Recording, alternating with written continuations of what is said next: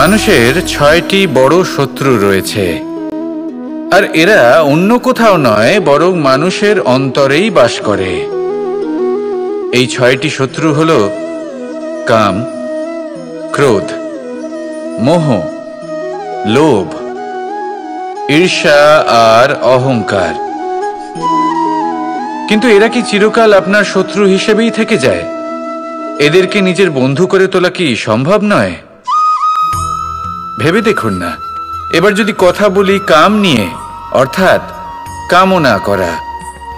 তাহলে মানুষ যদি জীবনে কামনা করতে থাকে, তাহলে সন্তোষের অনুভূতি লাভ করতে পারে না। কিন্তু এই কামনাই মানুষের বন্ধু হয়ে উঠতে পারে। কীভাবে?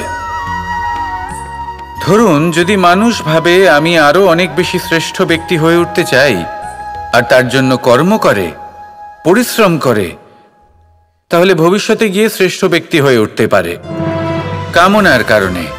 অর্থাৎ এই কামনাই ওর বন্ধু হয়ে ওঠে। কিন্তু ধরুন কোনো মানুষ যদি চায় সে শ্রেষ্ঠ ব্যক্তি হয়ে উঠবে, কিন্তু তার জন্য না কোনো কর্ম করছেন আর না কোনো পরিশ্রম করছেন, আর অধর্মের পথে চলতে শুরু করে দেন, তাহলে এই কামনাই তার শত্রু হয়ে উঠতে পারে। এবার যদি এই কামনাকে নিজের বন্ধু করে তুলতে হয়, তাহলে নিজের নির্বাচনে বিচক্ষণ হতে হবে। নিজের মস্তিষ্কের ওপর নিয়ন্ত্রণ রাখতে শিখতে হবে।